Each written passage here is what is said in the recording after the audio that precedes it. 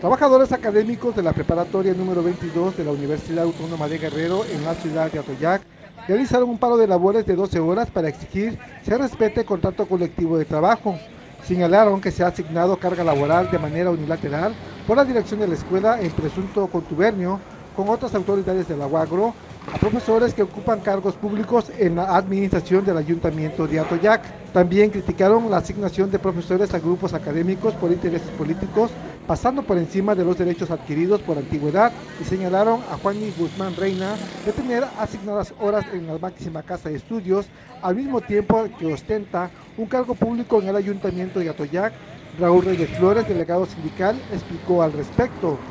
Que nos diga o se va a entregar de lleno al municipio de Atoyac con sus funciones de sin horarios o se va a entregar de lleno con nosotros en autonomía.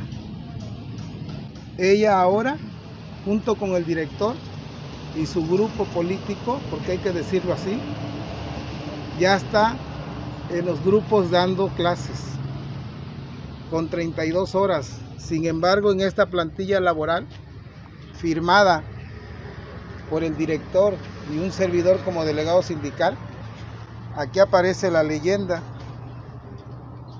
con su nombre Juana Reina Guzmán, descargada de horas por elección por el cargo popular y son horas sus horas interinas. Hoy pido que se revise esta nómina, esta plantilla. Por su parte, la maestra señalada justificó que sí cumple con los días y horas asignadas, por lo que señaló hostigamiento hacia su persona por parte del delegado sindical. Que nos hemos dedicado al trabajo este, entregado porque hemos estado en los días y las horas que nos corresponden. Entonces, pedir un alto al hostigamiento que están ocasionando con nuestra persona. Eh, yo tenía la idea de que el delegado eh, de una escuela defiende los derechos de los trabajadores y en esta ocasión es así, porque yo soy maestra de base por horas y no veo que se me haya defendido desde hace años en la universidad.